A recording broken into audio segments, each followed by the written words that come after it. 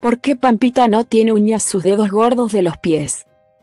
Mientras disfruta de sus vacaciones en Brasil, Pampita comparte con sus fanáticos imágenes de sus días de relax frente al mar.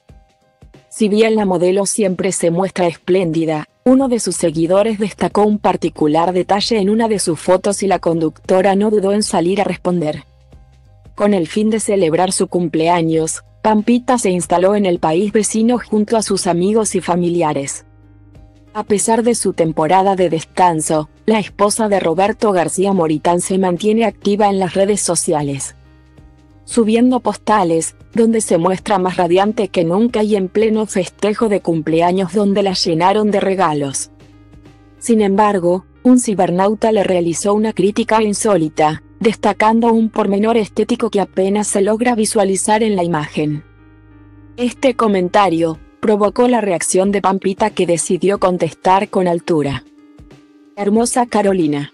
Hay que pintarse siempre las uñas de los piecitos porque, además de ser una diosa, representas a muchas chicas que te ven e imitan, escribió el polémico seguidor que generó el enojo de muchos.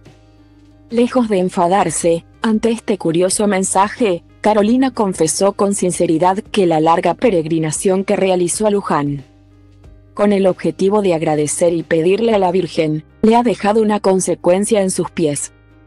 No tengo uñas en los dedos gordos. Se me cayeron cuando fui caminando a la Virgen de Luján.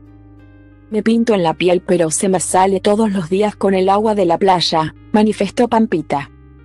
Detallando el motivo que le impide mantener la belleza de sus pies. Este suceso revolucionó al resto de los fanáticos de la modelo, que salieron a defenderla frente al insólito consejo del usuario en cuestión. Sin ocultar la sorpresa por el hecho, decidieron apoyar a la modelo. No pensé leer la sugerencia de que se pinte los dedos de su pie. Tiene miles de cosas lindas y justo ese comentario. Pampi no descansa hoy. Yo indignada, no puedo creer el comentario, comillas, ¿cómo hizo para verle las uñas ese señor? Innecesario el comentario fueron algunos de los comentarios de los admiradores de la conductora.